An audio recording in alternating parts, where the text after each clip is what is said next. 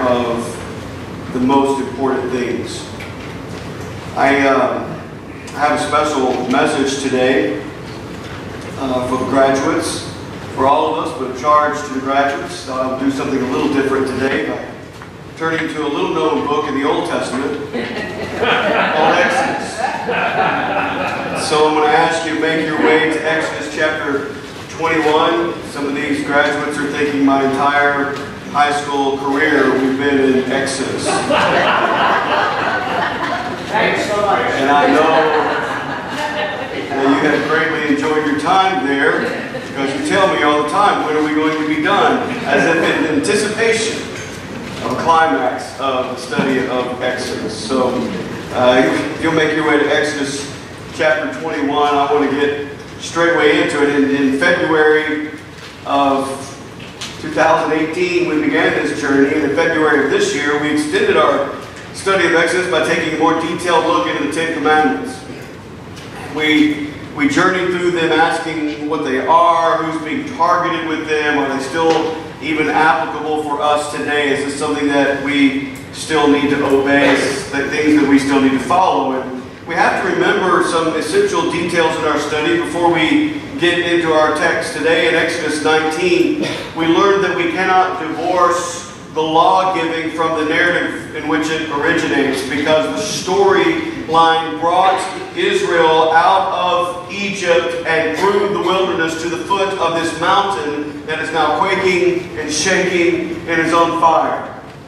If nothing else, the majesty and transcendence of a holy God is on full display on this mountain, and the people are a little freaked out about this. This is the God that they've heard about, but the God that they've not yet met. This is the God that they've only heard about in stories, and now that they're meeting Him face to face on this mountain with all the, the quaking and the shaking and the smoking and the furnace of fire that is uh, that has lit the mountaintop, uh, they're a little unnerved.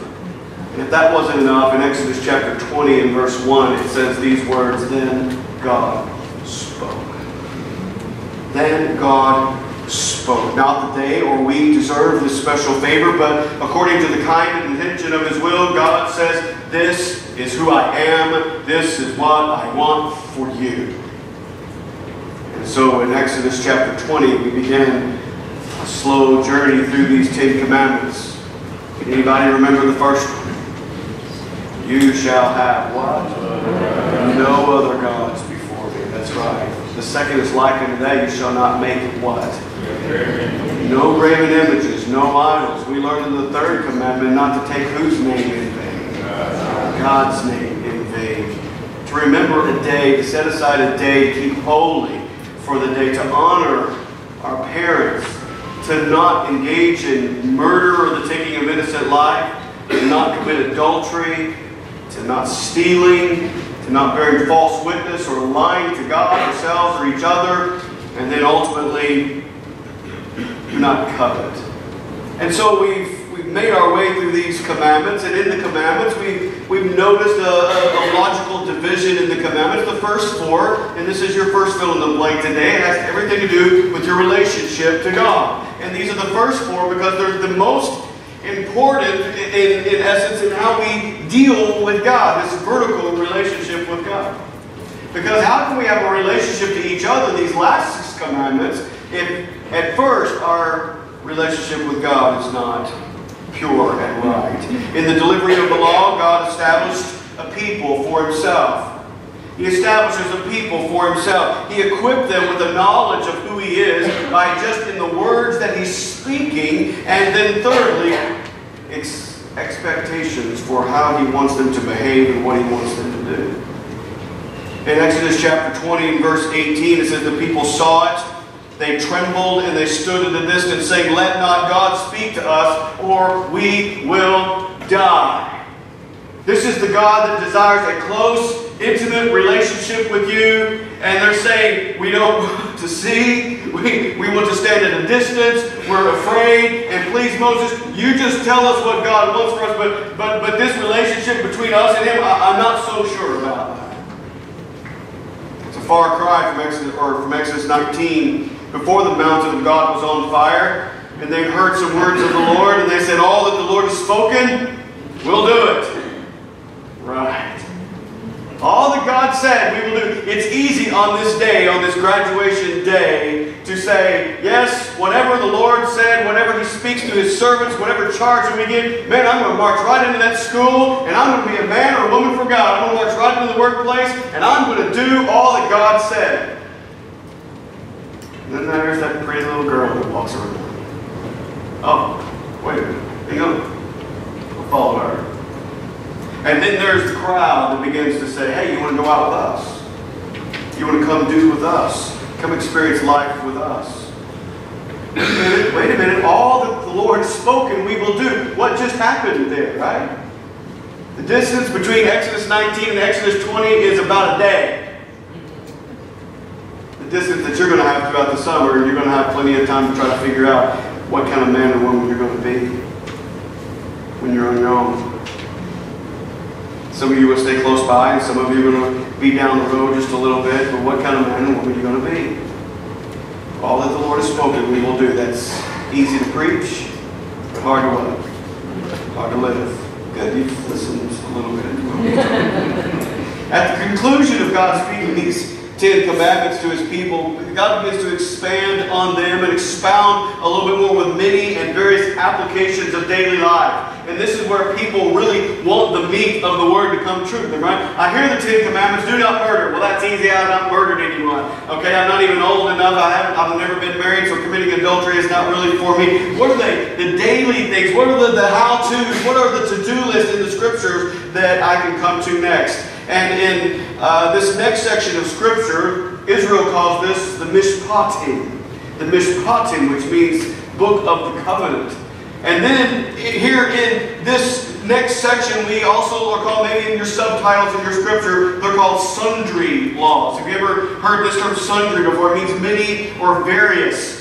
And so there are various types of legislation that God is giving to His people. In these sundry laws, we find the consistency that we've seen in, in the Ten Commandments, and that we are to love God and to love each other. Have a relationship with God, have a relationship with each other.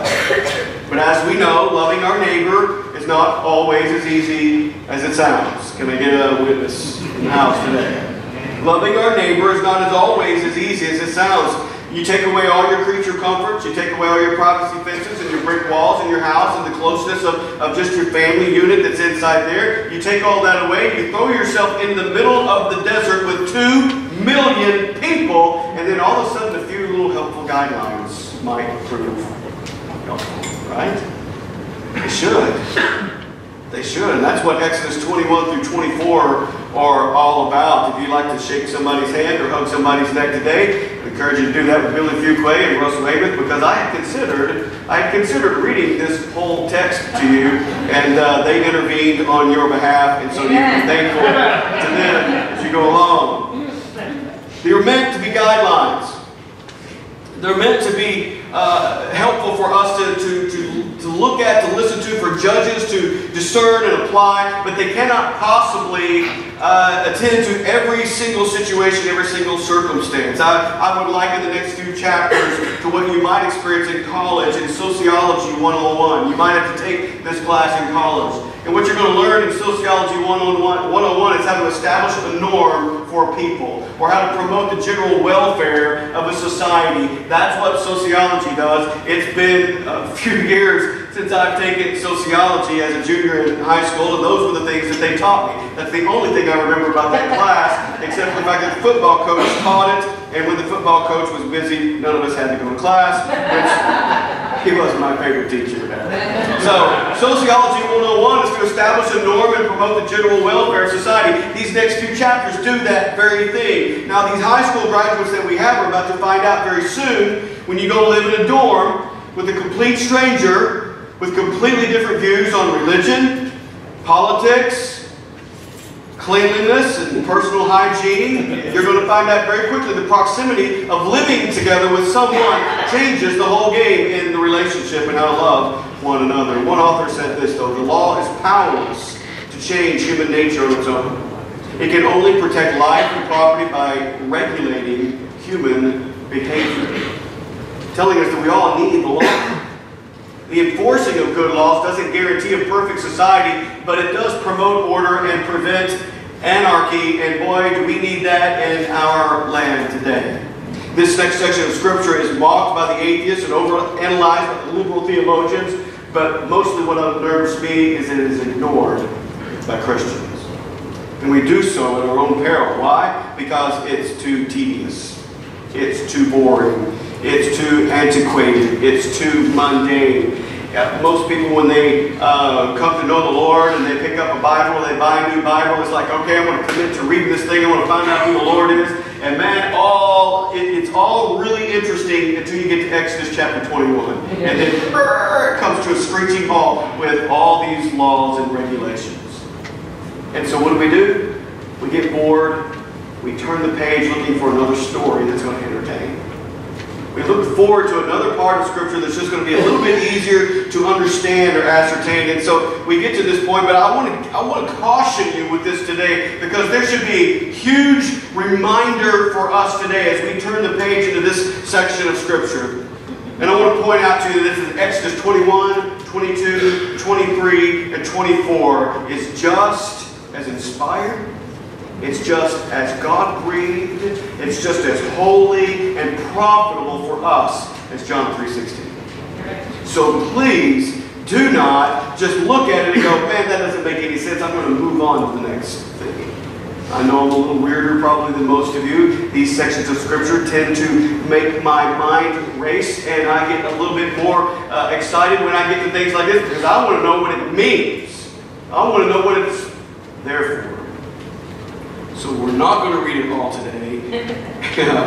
we're not going to dive too deep into these murky waters of these laws, but so the message is going to be a little less expositional in that, a little bit more topical in nature as we uh, finish our time together. But there's something inside of these chapters that's worthy for us to study. Something, some information that we need pull out, something that we can learn about God. That is the theology of the things and how we wrestle with theology, what we can learn about God, and then what points us to Christ. This has been our, our theme since we began, the theology and the Christology. What can we learn about God and what points us to Christ? So what kinds of laws are these sundry laws anyway? What, what is the purpose of them before we even read some of them? Before we get to that, we got to understand the context of this is for a specific particular people at a particular place in a particular time for a particular purpose. That's what context is all about. So when we're reading about this, we have to understand that God's moral law, these great Ten Commandments that we see, is for everybody, every time, and every place. It's for every civilization not to take it an innocent life. It's for every situation to contain the family unit together by not committing adultery, not stealing, and not coveting. That's for everyone. But these laws, these guidelines are, are ceremonial civil law for Israel. So what can we learn from that? God's preparing his people for something specific. I've got three things for you. God's preparing for his people for, for one, life after Egypt. Right? Because they've been taken, they've learned from all these other religions, they've learned from all these other practices. God is now laying down these laws of the Ten Commandments and these subsequent sundry laws afterwards to say you're going to be a different type of people than you were then. So first, life after Egypt. Second, that there's going to be 40 years of wilderness existence. He's preparing them for 40 years to live in this wilderness. Interestingly enough, all but two of these two million people are going to really experience promised land. All but two. All of them, but two, are going to hear these laws, struggle through the wilderness, and only two will enter. Thirdly, God is preparing them for entrance and possession of the promised land so that when they get there, they will live set apart. They will be different from all the other surrounding peoples that are there. There are laws in here concerning slavery, personal injury, sanctity of life, property rights, restitution for theft, personal holiness, social justice, and worship through offerings, through festivals. What is the right sacrifice? What is the false sacrifice? On and on and on they go from Exodus 21, 22, 23, 24. Again, I'm not going to read them all to you. I'm not going to break them all down or make some wild effort in, a short amount of time to, to apply them all in your life because the mining out of this text for something specific for us to apply today is a little bit different. But there's some significant issues here. And I want to point out just a couple of them to you as we begin. So if you found Exodus chapter 21, I'm going to ask you to stand with us, please. And I'm just going to read a portion of this piece right here just so you can get a flavor of it, okay? Just so you can get a flavor of it. Exodus chapter 21. As we stand in honor reading God's word aloud together, it reads like this Now these are the ordinances which you are to set before them. If you buy a Hebrew slave, he shall serve for six years. But on the seventh he shall go out as a free man without payment. If he comes alone, he shall go out alone. If he is the husband of a wife, then his wife shall go out with him. If his master gives him a wife, and she bears him sons or daughters, the wife and her children shall belong to her master. He shall go out alone. But if the slave plainly says, I love my master, my wife, and my children, I, I will not go out as a free man, then his master shall bring him to God, and he shall bring him to the door or the doorpost. And his master shall pierce his ear with an awl, and he shall serve him permanently. If a man sells his daughter as a female slave, she is not to go free as the male slaves do.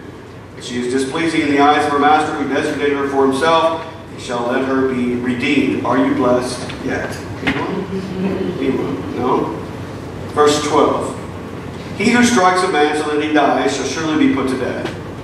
But if he did not lie in wait for him, but God let him fall into his hand, then, then I will appoint you a place to which he may flee. If, however, a man acts presumptuously towards his neighbor, so as to kill him craftily, you are to take him even from my altar, that he may die. He who strikes his father or his mother shall surely be put to death. He who kidnaps a man, whether he sells him or he is found in his possession, shall surely be put to death. He who curses his father or his mother shall what, graduates? Surely be put to death. If men have a quarrel and one strikes the other with a stone or with his fist, he does not die but remains in bed. If he gets up and walks around outside on his staff, then he who struck him shall go unpunished. He shall only pay for his loss of time. He shall take care of him until he is completely healed. A man strikes his male or female slave, slave with a rod and he dies in his hand, he shall be punished. If, however, he survives a day or two, no vengeance shall be taken, for he is his property. Are you blessed yet? If men struggle with each other and strike a woman with child, so that she gives birth prematurely, yet there is no injury, he shall surely be fined as the woman's husband may demand of him, and he shall pay as the judges decide. But if there is any further injury, then you shall appoint as a penalty life for life, eye for eye, tooth for tooth, hand for hand, foot for foot, burn for burn, wound for wound, bruise for bruise. Thank you. You've probably had enough of this. this is just half a chapter. This is just half a chapter. It gets really good as you go through there. Why in the world are these things in the Bible? It's further proof for you that there is a real God and there is a real people who's calling this real people to himself. This is the people that you're going to be for me. This is how you're going to reflect and honor me. And this is how you're going to live together. There's some significant issues just in the few verses that we read, aren't there? Slavery, abortion, kidnapping, capital punishment. It's all here in these first few verses. God is beginning to lay out for them, you're going to be living in close quarters in an uncomfortable neighborhood for a long, long time. So how did Israel do with this? How did they make it through? Did they do well? Did they do poorly? Well, it's the same way that we do really. Their initial response is acceptance. Their initial response is acceptance. I'm going to show you this. Flip over to Exodus 24. And we're going to hear some familiar words. So turn in your text to chapter 24. Look at verse 3. It says, Moses came and recounted to the people all the words of the Lord and all the ordinances. And all the people answered with one voice and said, All the words which the Lord has spoken, we will do. You heard this before? And then in verse 7, then Moses took the book of the covenant and he read it in the hearing of the people. See, Moses could read it to his people, and what did they say? All that the Lord has spoken we will do, and we will be what? We will obey. We will be obedient. They go a little bit step. All that the Lord has spoken, we will do. We're not only going to, we're going to obey, we're going to follow it. Sure thing, Lord. Sign me up. Sounds like a good idea. This is in month three of the wilderness experience. We've got 40 years left. So the first response is like us when we come to the Lord, Lord, wherever you want me to go, whatever you want me to do, however you want me to live, Lord, I am the man. Sign me up. I am ready to go. It's acceptance. But eventually, the natural inclination of man comes through, and that is to resist Lordship. We talk about this often here in the church. Everybody wants a Savior. Everybody wants that man dying on a cross for our sins. But not everybody wants somebody telling us what to do.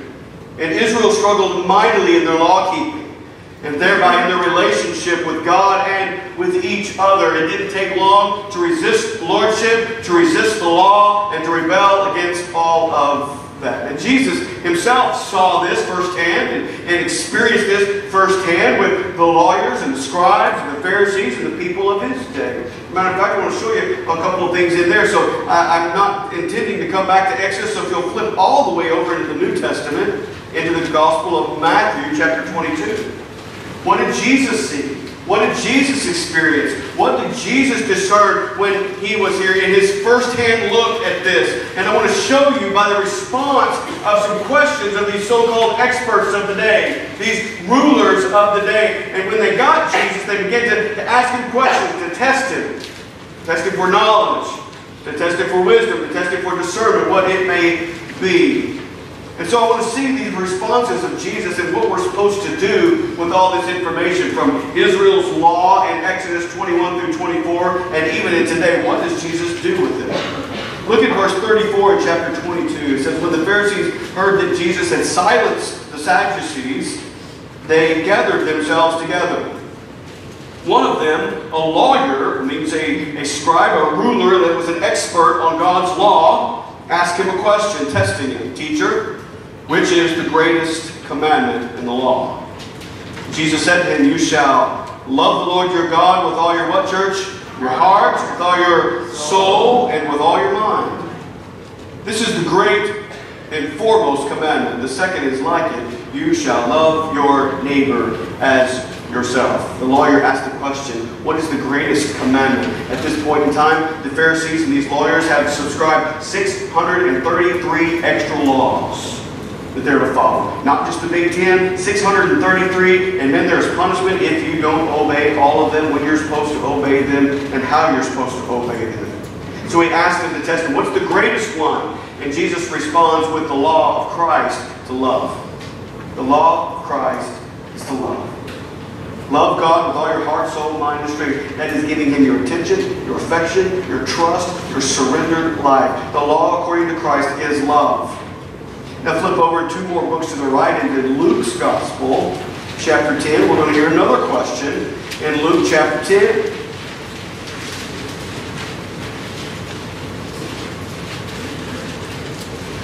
These lawyers, they've always got to be talking. Asking questions, putting things to the test. In Luke chapter 10, another lawyer stood up and put him to the test in verse 25, saying, Teacher, what shall I do to inherit eternal life? The first lawyer, what's the great commandment? I know that there's a lot of laws, but what's the main one that I got to keep? The next one says, what must I do? What box do I need to check to inherit eternal life? And Jesus said to him, what is written in the what? In the law. How does it read to you? The man said, Well, you shall love the Lord your God with all your heart, with all your soul, with all your strength, with all your mind, and your neighbor as yourself. And Jesus said to him, You have answered correctly. Now what? Do it. Do this and live. What is the greatest command in all of Scripture? To love God with all.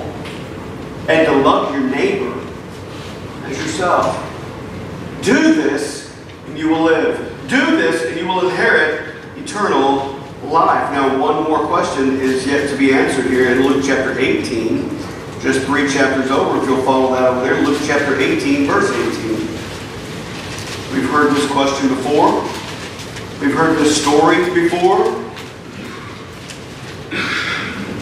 Another ruler, another lawyer, uh, we know them as the rich young ruler, questioned Jesus, saying, Good teacher, what shall I do to inherit eternal life?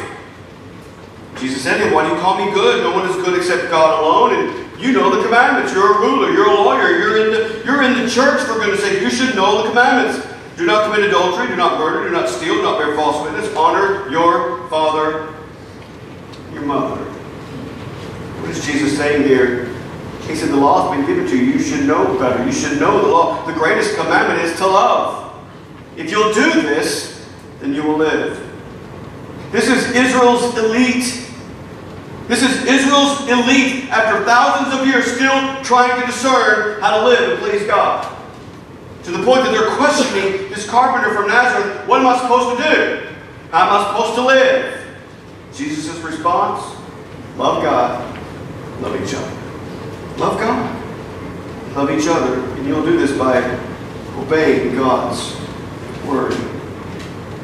So what do we learn from all this? We've got these laws that are hard to follow and understand. We've got uh, the law of Christ that's now being uh, the law. But what do we do with this? Is there any application that we can pull from 21 through 24? I know we haven't read it all, but what, what are we supposed to do with this information? We need to realize this, that God's law is right and it's good. If you want to live rightly in the world, this is the guideline that you follow. You don't get to make it up as you go along. You don't get to try to figure out the societal norm and try to fit in with everyone else. This is God's law. It's not meant to be burdensome to you. Please fill that in your blank today. It's not meant to be burdensome to you, but liberating, but free. It's not meant to, to tether you to something that you don't enjoy, but to give you life. The only way His law becomes a burden to us is when we? Because the law shows us what is right and what is good, and then when we don't do it, then come consequences, then comes punishment, and usually accompanied by guilt and shame. So we learn about God and this, the theology this is that God's law is right and good. It's His way that's best, not my way. We learn from the prophets that His ways are higher than our ways, His thoughts are higher than our thoughts. And but what now points us to Christ in this is it's still the law. What points us to Christ? The law points us to Christ. Galatians 3 says that the law is a tutor for us. It explains how much we need God's law. Now, in the New Testament, there seems to be a stark contrast between the, the obeying of a law and then being freed from the law. Look at the negative picture that the law paints and fill in your blanks as we go along. We'll do this in rapid fashion. In 2 Corinthians, it says that the law kills. All right? In Romans 3, the law cannot save. And it cannot justify. What good is it then? Well, okay, the law is going to bring wrath. The law is going to imprison us, and the law is a curse. The law says don't, but we do it anyway. So it imprisons us. It points out our shortcomings in our sin. The law says do, and then we don't. That's how we still adhere to the necessity of the law. Paul is insisting in each of these categories as much as uh, this negative picture is what he painted, but yet the law is actually still grace to us.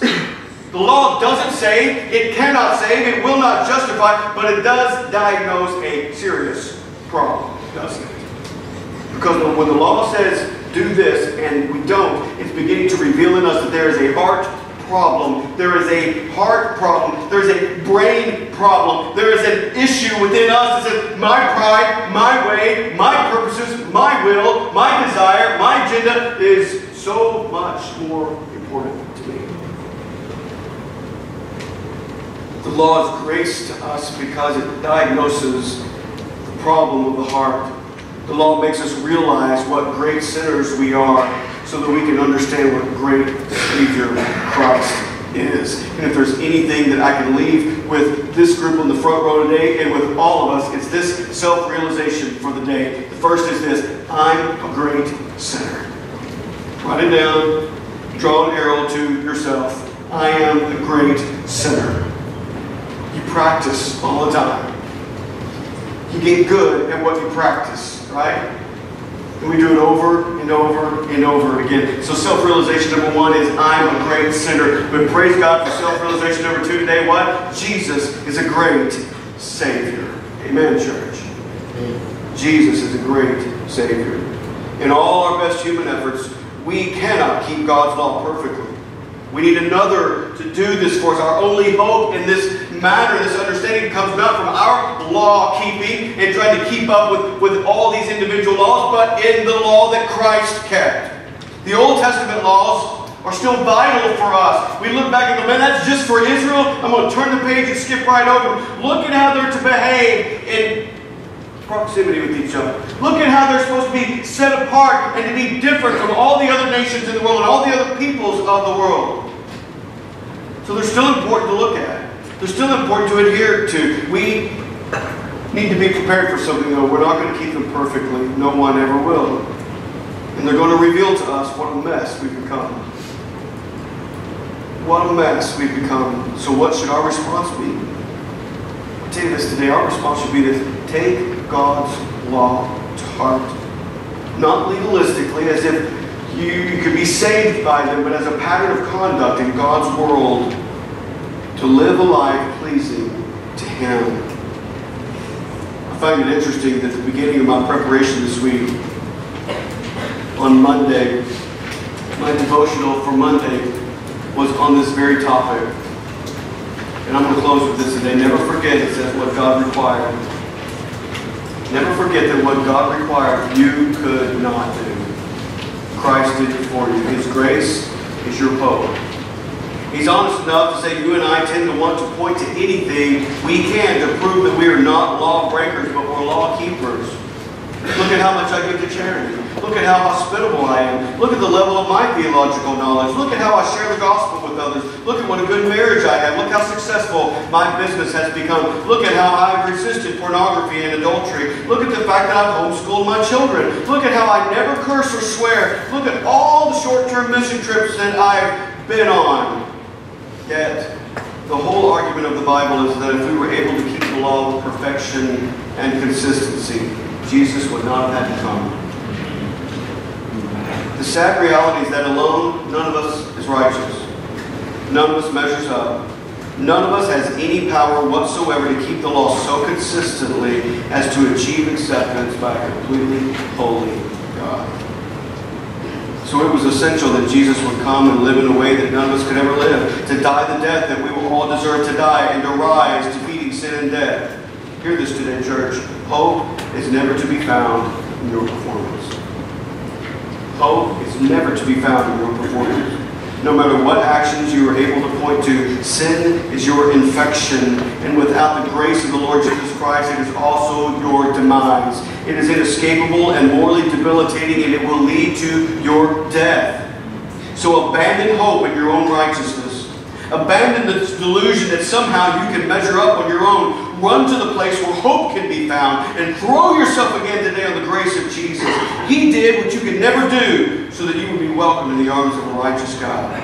Be fully accepted, even though in reality you are anything but righteous. How can God accept you and not compromise his own righteousness? He can do this because Christ's righteousness has been credited to your moral account. Now that is amazing grace. You're going to break the law. Run to the grace giver. Abandon hope in your ability. Abandon hope in your agenda. Abandon hope in your major. Abandon hope in your goals in life. Abandon hope in all of those things that could potentially bring joy or satisfaction or completion in you. Bo said it earlier today. Christ is the author and the perfecter, the completer, the finisher of your faith. Say along, Jesus today, as he spoke to the rich young man, do this and you'll live. Obey God's word, you will live. Trust him and him alone. Do this and you will live. For all other pretenders that are just looking at just getting by, follow a few rules, show up to the church, pack a Bible around, say all the right things, show up to all the right places, you may find yourself one day far apart. You've never been in a relationship with Jesus Christ. You've never fallen on Him as your trust. You've never surrendered your life to Him. And then you pack the Bible around, but you've never really done what it says, right? James says, don't just hear it, do it. Jesus says, don't just hear it, act upon it. Obey. Obey. Follow me. Let's pray. Lord, may our aim today, may our whole mindset and our attitude today be to accept the fact that you are all around us. You are in our heart, you are in our mind, you are in our hands and our feet. Lord, you are all around us and the people and the circumstances and the situations in life. But Lord, to know that you are that near and that you've drawn us that close and then to rebel against you, to be indifferent towards you, to find a way around you so that this life can be more pleasurable. That this life would bring me all the joy that I'll ever have. Thank you for what your word promises to us. Thank you for how your word disciplines us, how it reminds us. Lord, I ask that your word would come alive in us today as we leave this place. Law has been written on our heart, the law has been written in your word, your revelation to us, how we see you, how we experience you. That you would be first.